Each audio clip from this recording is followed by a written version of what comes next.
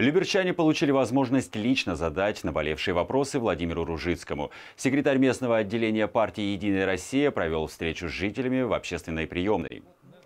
С просьбами и предложениями к нему обратились шесть человек. Участники инициативной группы поселка Октябрьский представляли интересы старшего поколения. Они попросили сделать программу «Активное долголетие» доступнее для жителей Октябрьского. Сейчас там нет курсов компьютерной грамотности, возникают трудности с освоением других направлений социального проекта. Есть такая программа, как э, туристические поездки, да?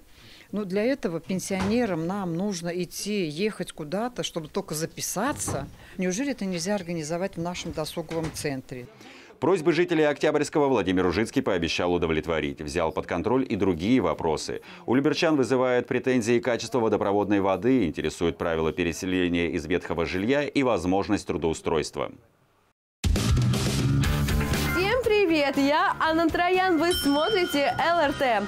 Подписывайтесь на наш канал на Ютубе и ставьте лайки. Будьте в курсе самых важных событий.